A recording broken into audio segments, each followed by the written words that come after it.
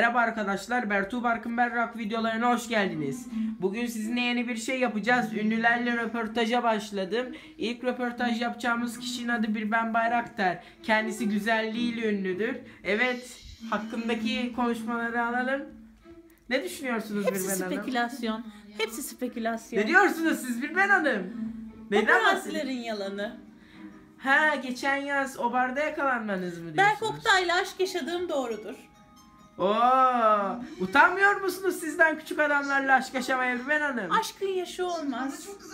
Sizin yaşınız var ama. Aramızda 6 ay var. 6 ay mı? Evet. Bir ben hanım yapmayın bir ben hanım. Aranızda bir yaştan fazla var bir ben hanım. Belki. Belki. Aranızda en az 15 ay var bir ben hanım yapmayın Bu lütfen. kadar çatlak su kaçırmıyor efendim.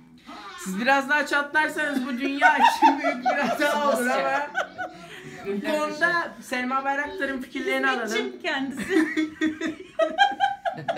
Ne düşünüyorsunuz Bilben Hanım?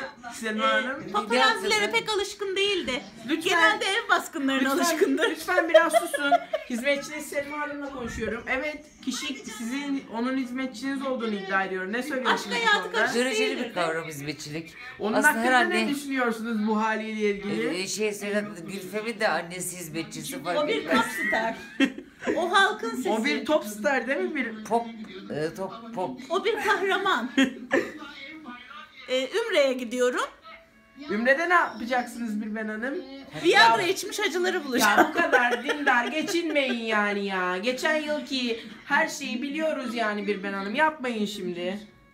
Ee, Vic Der Mer Viagra'dan e, ölen Hacılar Derneği için e, bir toplantımız olacak Ümre'de. Onları bu konuda bilinçlendireceğim. Hayranlarınızla ilgili ne söyleyeceksiniz? Yeni bir single Beni çıkartacak sizler mısınız? yarattınız. Ben sizler için varım. Ee, hepinize mavi boncuk dağıtıyorum. Ee, benim gerçek sevgilimi anladım ki sizlersiniz. Yeni bir single çıkartacak mısınız Bilben Hanım? Çıkartacağım. Filmlerde oynayacak mısınız?